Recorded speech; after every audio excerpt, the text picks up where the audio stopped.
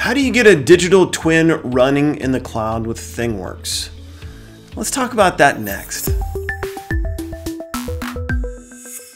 Okay, so how do you set up a IoT connected digital twin?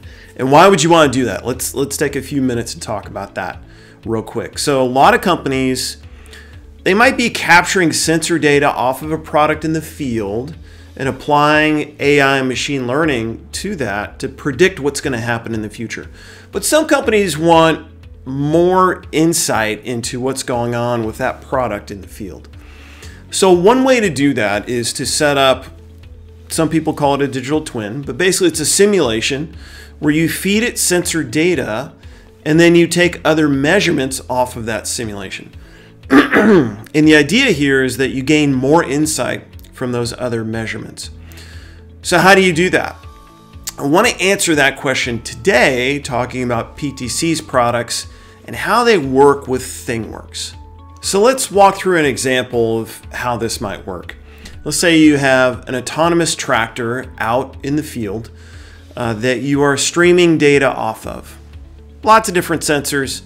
That data is going up into the cloud uh, to ThingWorx, and ThingWorx is collecting this data over time, you know, streams of data.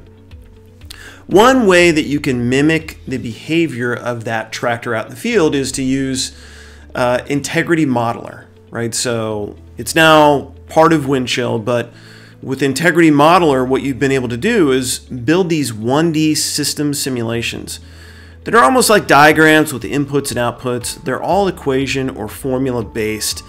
Um, but you can build those models and then you can you can run those models next to ThingWorx using what's called a headless application. There's no UI, it doesn't display UI anywhere. Basically, it's an application that's kind of running things in the background, but it's getting sensor data from ThingWorx and then feeding back these extra measurements back into ThingWorx. So you now now you have a richer set of information where you can gain insight. The other thing that a lot of people probably are not aware of is there's a similar type of thing for Creo.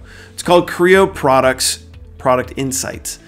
Same type of thing. You can kind of set up, usually it's a kinematic simulation, something that's a little simpler. It, it can't really be a stress type of simulation because of the time required to run those simulations. But what it can be is this, you know, calculation of lots of other things that might be where's the center of gravity, uh, what's the surface area above water, um, all types of things like that that are basically model based driven uh, calculations. So you can feed this headless Creo Products Insight application that's running alongside ThingWorx in the cloud. You can feed it sensor data and it drives extra sensor, well, it, it drives extra information and data back into ThingWorx.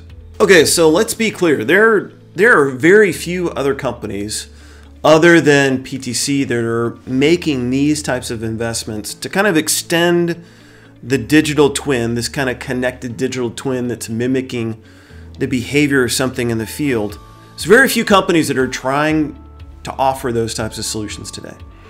And this gets into some really interesting kind of applications. You know, you can look at okay, is the thing that you're, you know, the tractor that you're working in, is it about to tip, right? Is it uh, about to be submerged, maybe below the air intake for the engine or something like that, right? So, so you can use this to kind of drive other types of uh, warnings or behaviors, or heck, even you know, let AI and machine learning loose on it and let it try to correlate those measurements with other behaviors or anomalies or things that affect um, predictive maintenance and those types of strategies that you want to get in place for your company.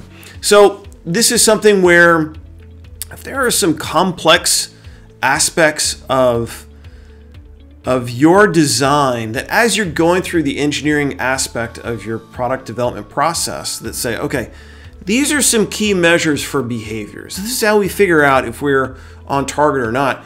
it's not out of reach to say, hey, let's measure that over time.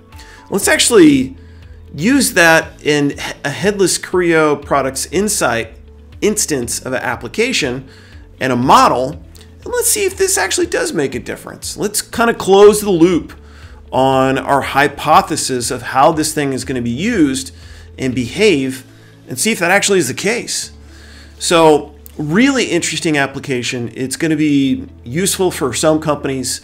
Uh, and if it does seem like you've kind of gone through that, there are some key characteristics that you think will make impact, and you want to see if it does or not, this is a good place to kind of experiment and check that out. That's it. Take care and talk soon.